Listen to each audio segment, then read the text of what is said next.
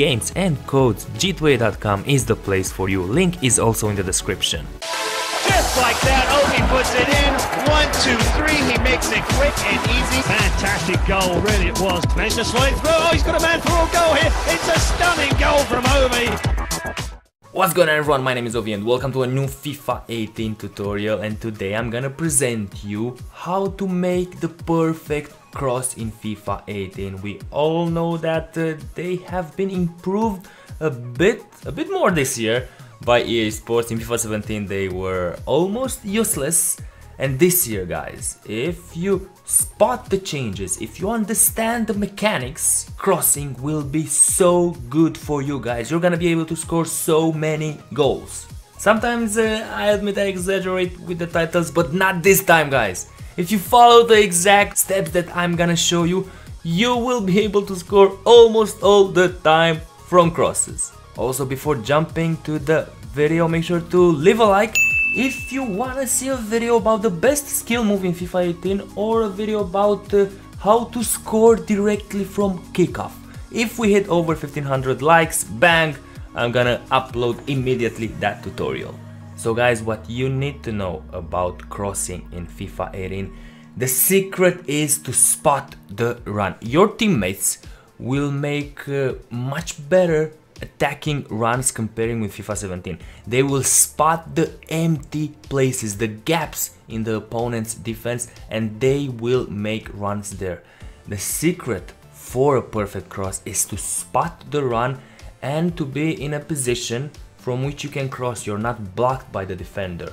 Or when you spot the run or you see the player that he's trying to get in that area, you do a different skill move, a dribbling trick to move into an open area so you can cross the ball.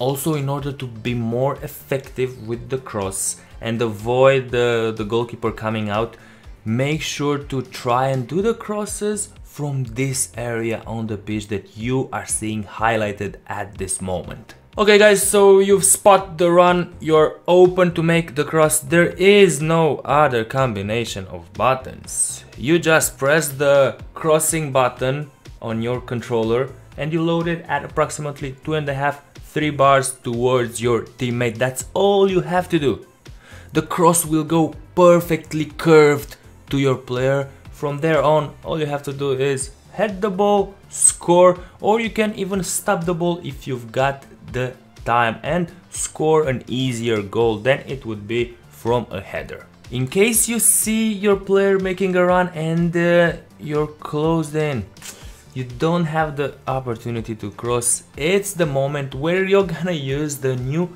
Cruyff turn, which is extremely easy to do. I've done a tutorial about it. It's a fake shot at a 180 degrees angle. After you've done this, do again the same steps as before.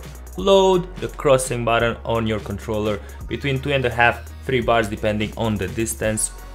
The ball will just fly towards your striker's head and then bang, you can score easily with a header. So guys, remember, the secret of a perfect cross this year is to spot the run.